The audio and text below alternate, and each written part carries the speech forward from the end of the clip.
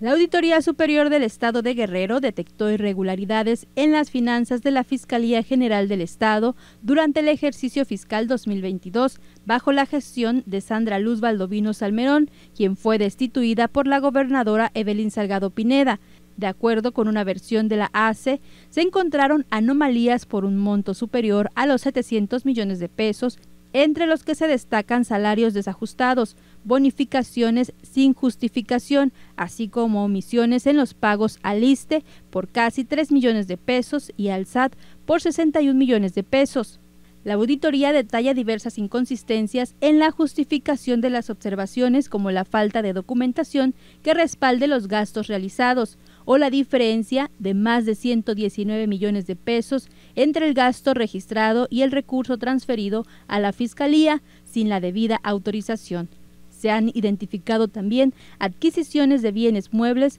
por más de 8 millones de pesos sin procesos de licitación ni evidencia de recepción de bienes, lo que evidencia una falta de transparencia y control en el manejo de recursos públicos. Ante estas graves irregularidades, la Auditoría Superior del Estado ha emitido una promoción de responsabilidad administrativa sancionatoria y se espera que el órgano interno de control de la Fiscalía inicie los procedimientos correspondientes para sancionar a los responsables. Informó para RTG Noticias Alejandra Fierro.